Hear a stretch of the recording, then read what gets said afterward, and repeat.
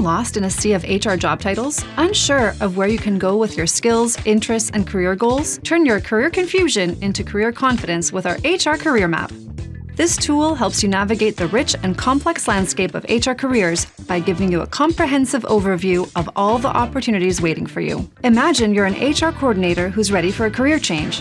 The HR Career Map tool can help you explore different options based on your current role, the roles you want to grow into, the HR discipline you're interested in, and how senior you want to be. Use the HR Career Map to visualize different career paths, the salary ranges, the skills you need to progress, and to plan your learning journey. Save your career path and track your progress against assessments, courses, and certifications to stay motivated and achieve your goals.